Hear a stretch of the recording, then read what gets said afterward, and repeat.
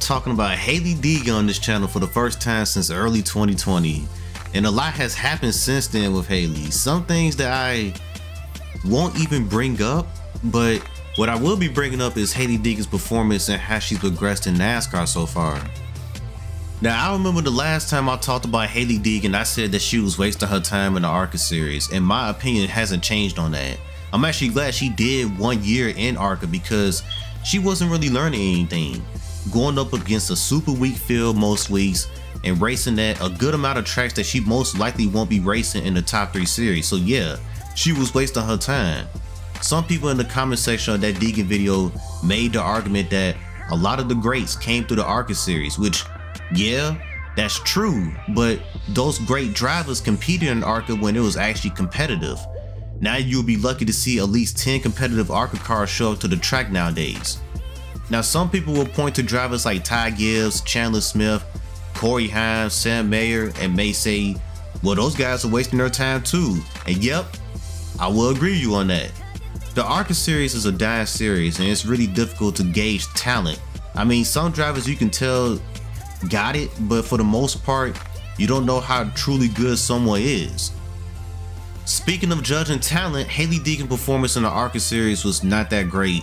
She ran a full season in ARCA in 2020 and scored no wins, 4 top 5s, and 17 top 10s and finished third in points. Third in points? What the hell are you talking about, Elite? That sounds like a pretty good season to me. Nah, hold up for a sec though. Yeah, third in points doesn't sound that bad, but there was only four drivers that competed full time in ARCA in 2020, so yeah, but what about those 17 top 10 she scored in a 20 race season? Well, like I said, ARCA is not really competitive. And when you get a top 10 in that series, it ain't nothing to really brag about. Nowadays, it's about 15 to 18 cars that be in an ARCA race, and a good portion of the field is way off pace. I think if you race ARCA with how the way it is now, then you should be disappointed if you don't finish 5th or higher. Deegan finished in the top 5 4 times out of the 20 races. Did she spend any time up front? Not really leading only 86 laps total throughout the season. She spent most of the season running between 5th to 9th, and in my opinion, the best race she ran was the race where she led 85 laps, which was at I-44 Speedway. It was the only race throughout the year where she actually competed for the win, besides at Daytona, which, by the way, she ran a good race at Daytona. She was pretty much a sitting duck because she was sandwiched between two Toyotas, and if she would have attempted to make a move, she most likely would have fell out of the top five and not have had that second place finish on her resume. I wanted Deegan to be in the truck series ASAP because it's a way more competitive series. Competition makes you better and I feel like she could progress faster by being in a competitive series like the truck series. Spend multiple seasons there and learn to actually perfect their racecraft. By the end of 2020, it was confirmed that Deegan will be running full time in the truck series in 2021. As a matter of fact, she made her debut with DGR at Kansas and actually ran pretty well for being her first race in that series, finishing 16th and staying on lead lap.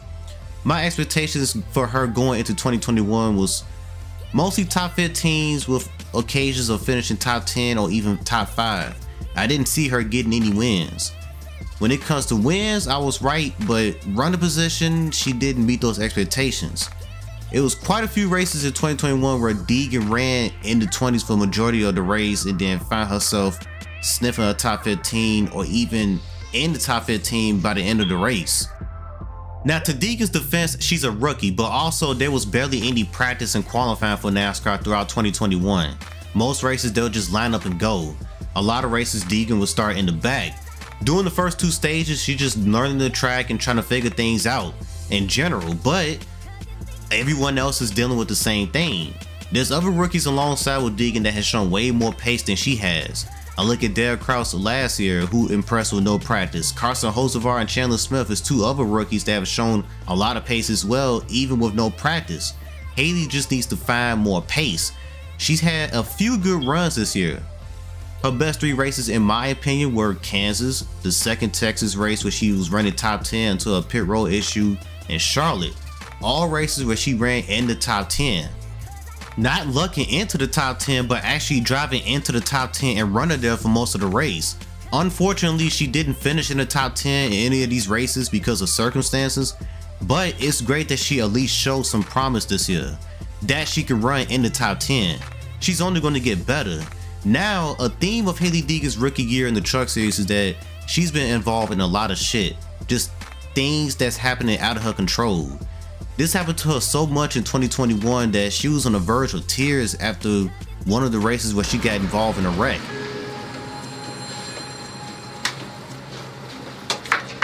It's like I'm trying so hard. Like, so many hours in the sim, so many hours into watching footage, into data, into meetings, and going over everything. It's like I do my job. And it's just, it sucks. You got guys out there, and it's just like, I just got hit. One of the guys wrecked in front of me, someone else hit me from behind, and ended our race. Just like, it just sucks. It wears on me so bad because it's like so much work that goes into this just for like that to happen. Like I drove through the field twice. It's just like trucks are a mess. You no, know, everyone's just like over their head driving, stupid aggressive, and just wrecks everything. And I just I don't get it. Like first restart, we just get absolutely nailed from behind. Literally coming to the green on the first restart. Like really, dude, 170 laps to go. Really gonna hit me right now? Where are you gonna go? And I really do feel bad for her. You can tell Hailie Deegan is serious about this and that she wants to be successful. And that's great. But you can also say that Hailie has found herself involved in a lot of crap this year because of running mid-pack most of the time. When you're constantly running back there, you're bound to get caught up in something. Those drivers mid-pack all the way to last are racing just as hard as the leaders. Not to mention, it's a lot of inexperienced drivers in the back of the field. This is why it's important for her to find more pace. Practice and qualifying will be returning in NASCAR in 2022, so she got a chance to work on some things in practice and actually qualify. She's got a whole season under her belt, and when she visits these tracks next year, she'll kind of know what to expect. Not only does Hailie needs to find more pace, but also she really needs to work on her restarts, which is one of her biggest weaknesses. One race that it was very noticeable and cost her a good finish was at Kansas where she was running well inside the top 10 all day and was on her way to a top 10 finish until a late race caution happened. The restart happens, she doesn't get going, finishes outside the top 10, and just like that, her top 10 finish was gone. And that was very frustrating to watch when it happened. Being a good restarter is so important nowadays because it's hard to get track position. Plus, you got two guaranteed stage cautions that's going to come out in the race those are very great opportunities to grab positions and then hope that you can maintain that track position. An improvement for Deegan is at least not losing spots on restarts. Something that could also help Deegan out is having a veteran teammate. Her current teammate is Tanner Gray and he's an upcoming driver just like Deegan. He's only got one more year of experience than her. If I was DGR, I would expand to a three truck team and bring in a veteran like, hmm, I don't know, Ryan Preece someone who won for them at Nashville in 2021. Ryan Preece doesn't have anything lined up for Cup, and this is a great opportunity to bring him in and mentor both Hailie Deegan and Tanner Gray. They both need an experienced driver to lean on. We know DGR has fast trucks. Ryan Preece proved that at Nashville. It would be huge to have him along because it would drastically help out DGR. If I was Hailie, I would also be talking to as many Cup drivers as possible whenever they race at the same track as Cup. She's a Ford driver, so she got drivers like Kevin Harvick, who's a huge supporter of hers, Brad Keselowski, and Joey Logano. All drivers who have a cup championship and plenty of victories. Try to learn as much as you can from those drivers and ask a ton of questions. I don't know if she does this now, but if she isn't, she needs to start doing it if she wants to get much better as a race car driver. She got a driver coach who is David Ragan, which, yeah, he won twice in the Cup Series, at super speedways, but David Ragan?